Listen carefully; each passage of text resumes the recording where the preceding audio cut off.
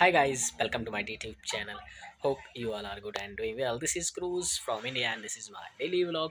I'm a life challenge video. In this video, I'm talking about a very interesting thing uh, which I found in on Google Doodle. So I'm uh, read an article in which found I'm that related on Mary Tharp, who was a uh, uh, geologist and a chartologist also, and um, uh, his work on uh, mapping mapping uh, change our perspective of seeing uh, the earth. So at that time when his career started in 1915 uh, there are maximum part of the earth has been mapped but ocean is still a mystery. And uh, that time uh, when his career start uh, the uh, scientists also start using the sonar new invention sonar to uh, mapping the ocean.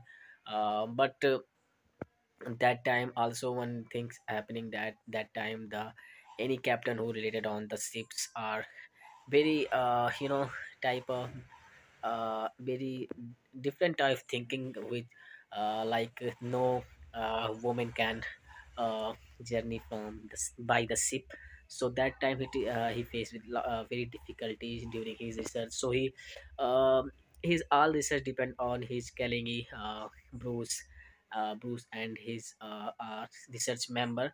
So and uh, Henry Bruce Henry collect the data and uh, Tharp uh, make the map and uh, trying to solving the uh, how is the uh, ocean's uh, depth and uh, height and uh, that time uh, the uh, scientists are using the sonar by uh, when uh, they send a sound and count the timing uh, ret- going going and returning about time count and trying to solve the distance or depth of the sea and uh, so overall the thing is uh, Mary Tharp was a very great um, geologist and chartologist and so his work to making map is very brilliant and after that his work there are he makes and uh, there are uh, his invention related to the ocean so